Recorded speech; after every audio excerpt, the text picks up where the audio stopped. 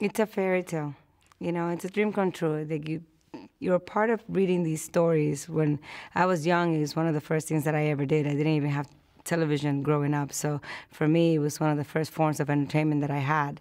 So to be asked to audition even was a big deal. And then to actually be a part of the show has been just a great journey.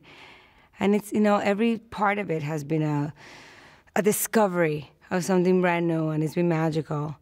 It's a show that's been loved for six seasons, and to come in on the final season and think like, okay, maybe this could go in a different direction, and maybe this is a different story, and it's been a really incredible journey to be able to take a character and take it three dimensional and all the way through